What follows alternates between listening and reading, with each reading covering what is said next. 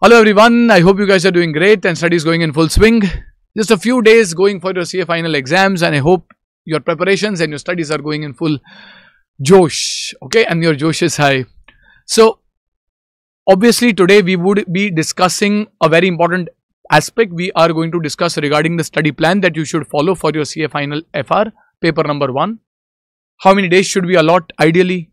How do you prepare for MCQs? What is the sequence of topics to be followed?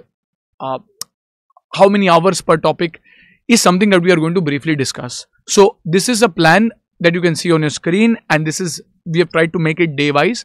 So, ranging from 7 days that is a week up to 4 days up depending on how much time you are allocating i would suggest at least giving uh, four days if not more the ideal plan i would say is a six day plan where you would at least give six days for your preparation and that should be the ideal will get done in a very very comfortable way but obviously if you have lesser time you can kind of mold it. Even if you have less than four days for example you have three days then you can just divide the hours etc that you have given for the six day plan divided by two and make your target accordingly. But preferably at least give 5 to 6 days. That is an ideal uh, way. So that is my ideal time frame that i should allocate and hence your preparation should start let us say from 26th of april. If you can start earlier nothing like it. But if not 26th or 27th of april is an ideal time frame where you start with your preparations.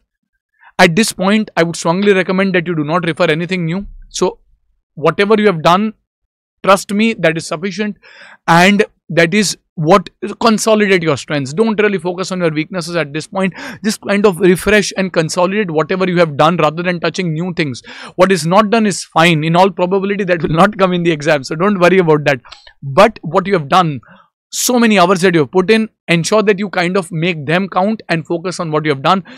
Studying something new takes a lot of time as well as kind of affects your confidence a little. So might as well at this stage do whatever you have done only. That is the first thing Secondly, a lot of this is the first time you're probably going to sit for an MCQ paper and hence should we prepare for MCQs at this stage?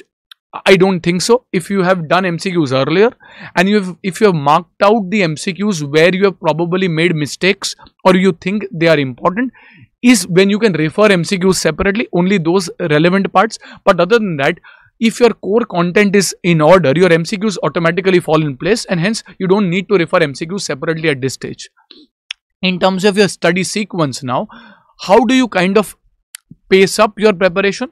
I would strongly recommend you mix and match. You cover everything and FR paper is one of the papers where you can cover everything. So you kind of uh, do some bigger topics, then do indices, do bigger topics, again do indices.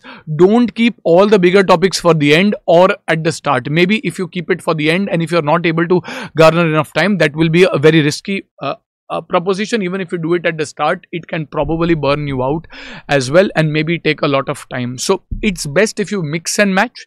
So over here you should kickstart your preparation ideally with the share based payment chapter and the financial instruments section. So do financial instruments and share based payment. For topics like financial instruments devote a reasonably good amount of time okay and uh, get done with it properly especially the numerical sections. So uh, we will start let us say with the share based payments and the financial instruments. Section you can try to do that in a particular day's time. Then you can focus on the asset link standards the pp standard intangibles inventories uh, borrowing cost agriculture non-current assets held for sale impairment. All of these asset link standards can easily get done uh, in a day's time. So probably devoting around an hour, hour and a half for the smaller topics like investment property, whereas devoting around anywhere between two, two and a half hours for a bigger topic like a PP or an impairment, for example, should kind of suffice. Do I need to write everything on pen and paper? I don't think so, except for the bigger consolidation and business combination questions, one or two questions you should do on pen and paper to get the flow.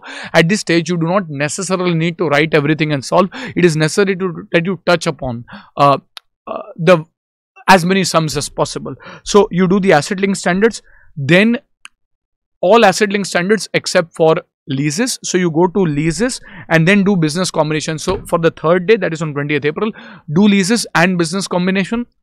So these are two fairly big topics.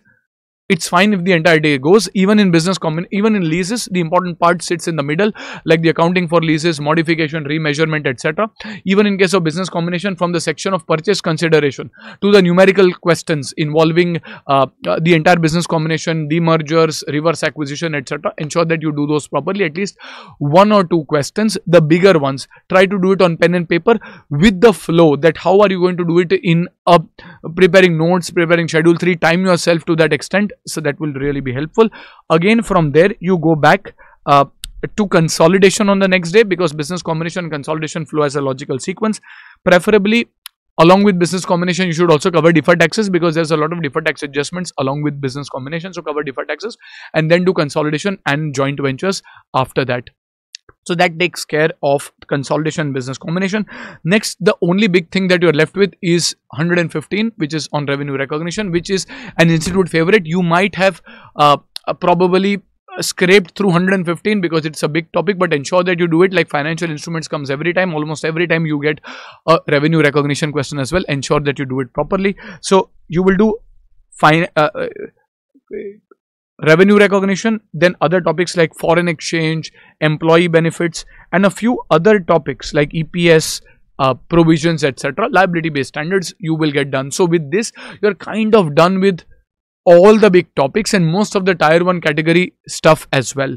Uh, other than that, at the end, you will have accounting and tech, uh, accounting and technology and ethics. From ethics, we expect a small question, a numerical one, where you are expected to kind of comment on the accounting treatment, as well as the ethical considerations. You can put it in a standardized format. Like in ethics, you will have four parts. You will say that first, what should be the appropriate accounting treatment? Second, uh, what are the ethical considerations to be considered? Third what should be the appropriate action to be taken? And fourth what is the consequences? So you can kind of formulate it and write it accordingly. And from accounting and technology it is likely that probably a small theory or an mcq question can possibly come. So over here along with accounting and technology and ethics and all the other smaller topics like uh, Ind AS 1 8 10 etc you can kind of keep it for the last one or two days. So so that you don't really invest a lot of time. If you do it at the beginning, you end up investing a lot of time, even in topics like Ind AS 1, which at a later stage you can optimize and kind of refer the important areas and proceed. So, and the last day we have kept as a buffer day. Maybe if your plans go a little plus or minus, you still have some time. And if you stick as per plans or even if you do faster you can actually eh, do a quick recap the day before your uh, exams. You can do a quick recap from your shield or the concept books or your reference materials that you have for the notes. So this is the sequence that you should ideally follow. Apart from that from an exam perspective ensure that you time yourself properly.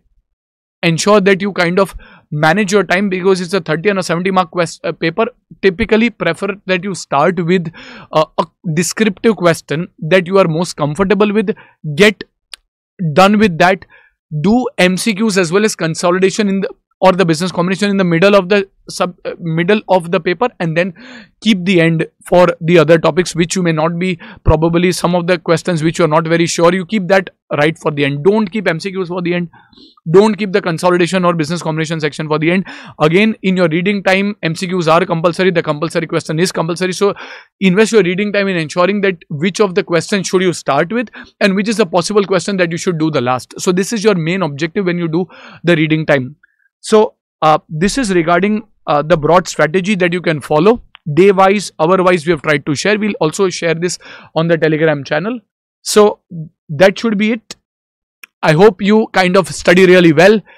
Get your um, get your first paper out of the way and get your exemption in your pocket okay? So be confident at this point there there is no one no one remember who can tell you that he's absolutely he or she is absolutely confident and let the exam come. Everyone is fighting their own battles. So you might be a little dilly dicey in some of the topics. That's absolutely fine. I mean everyone is uh, is kind of not so sure in some or the other areas. All you have to do is be confident. Don't let that nervousness get into you it is very normal for you to feel a little uh, nervous but remember it is just an exam. You have studied hard you have given your best and then leave everything else to destiny and god but you give your best effort okay? There's no point uh, worrying about things which are beyond your control. Focus on the process and the result will be yours. I'll see you soon. Bye bye take care and good luck